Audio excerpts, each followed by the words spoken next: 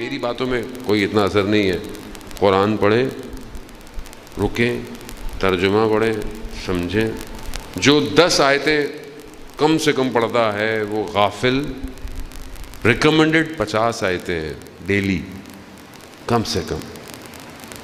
Ayatollah नखूद की स्वानी फरमाते थे, फजर बहने तुलू हैं, यानी जब सुबह सादिक से लेकर जब सूरज निकलता है, कज़ा, फजर जब हो जाए, ये एक सवा घंटे का टाइम कहा, ये बेहतरीन वक्त है। इसमें ताकीबात, कुरान की तिलावत। हम तो अलार्म तब लगाते हैं, कज़ा कितने बजे हो रही है? आखिरी टाइम बता दें। उसी टाइम उठेंगे। तभी तो ज़िंदगी में परेशानी है जाने मत। मुझे आप बताएँ। कुछ तो ले जो उतर रहा है, उतर रहा है। सिर्फ़ आप समझते हैं ओलिया के ऊपर उतरता है सबके ऊपर उतरता है। लेकिन क्योंकि यहाँ रनवे है ही नहीं, कराची की सड़कों की तरह सब टूटा फूटा है। हर जगह गढ़ा है तो कहाँ उतरे कोई? साफ़ करें, साफ़। इसको स्ट्रेट करें। सिर्फ़ खुदा बस। बोले खुदा के लिए। इन्फाक करें खुदा के लिए। नाराज़ भी हो तो खुदा के लिए। अपनी वजह से नाराज़ ना हो, बहन भाइयों से नाराज़ माँ बाप से नाराज़, दोस्त से ना। हंसे खुदा के लिए। अजाने मत, रोए खुदा के लिए।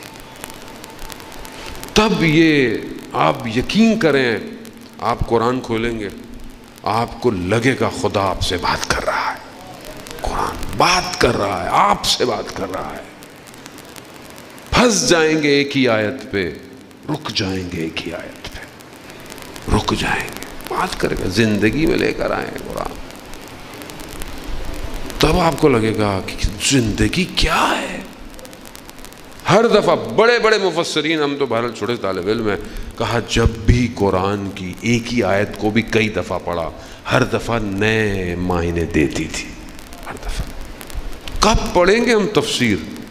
तफसीर कब पढ़ेंगे ज़िंदगी में? कब पढ़ें अब तो इतना आसान हो गया है, मैं जवानों से कह रहा हूँ। सोशल मीडिया पे अभी हमने भी, हमारे दोस्तों ने जहमत की। सात मिनट की डेली वीडियो है, सेवन मिनट्स तफसीर की। सात मिनट। हफ़्ते में छः वीडियो हैं, एक दिन क्विज होता है। ताकि जो आपने पढ़ा है, उसको टेस्ट ले लें हम। थोड़ा टेस्ट भी तो लेना है। तीन साल से पाँच साल में एक तफसीर आपकी ख़त्म हो जाएगी। सात मिनट नहीं है हमारे पास। आप यकीन करें नहीं ज़िंदगी में। कैसे इमाम ज़माना तक पहुँचे, मुझे आप बताएँ। मौला मुतगयान कह रहे हैं कि ये वो थे जो कुरान पढ़ते थे और उस पर अमल करते थे।